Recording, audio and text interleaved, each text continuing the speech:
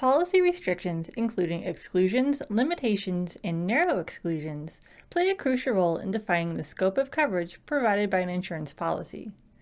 Understanding these terms is vital for policyholders to grasp the extent of protection offered and to identify any potential gaps in coverage. Hello, my name is Amanda Yaniz, and this is the Concklin blog.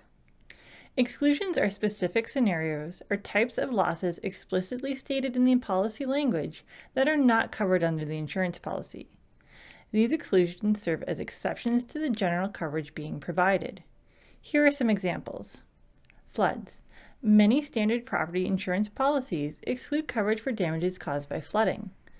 Policyholders in flood-prone areas need to purchase separate flood insurance to protect against this risk. Mold. Some policies exclude coverage for mold damages, particularly if it is a result of long-term neglect or maintenance issues. Pre-existing damage. Damage that existed prior to the policy's effective date is typically excluded from coverage. Policyholders should review exclusions carefully and consider obtaining supplemental coverage for any risk not covered by their primary policy.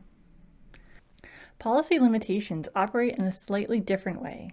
A limitation may stop coverage for a certain period of time or impose a restriction on the amount of coverage that can be applied to certain circumstances. Here are a couple of examples. Temporary limitations. A policy may include temporary limitations such as a waiting period before coverage becomes effective for certain types of claims. For instance, if you purchase earthquake insurance immediately following a sizable earthquake, there may be a delay of several days before coverage goes into effect. Coverage caps. Some policies impose limitations on the maximum amount of payables for certain types of losses. For example, a homeowner's insurance policy may have a coverage cap for jewelry or fine art.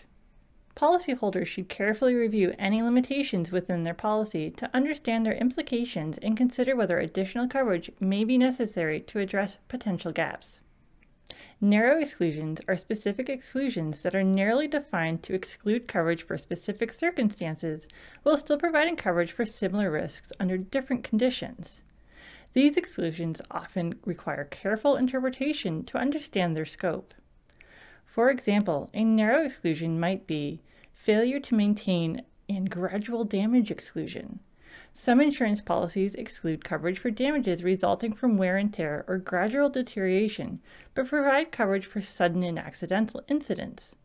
For instance, a homeowner's insurance policy might exclude coverage for a leaky roof due to wear and tear, but cover damages resulting from a sudden storm. Policyholders should pay close attention to narrow exclusions and seek clarification from their insurer if needed to ensure they are fully understanding the extent of coverage provided. Policy exclusions, limitations, and narrow exclusions are essential components of insurance contracts that define the boundaries of coverage. Policyholders should review these restrictions carefully, assess their individual risk exposure, and consider obtaining supplemental coverage if necessary to safeguard against uncovered risks.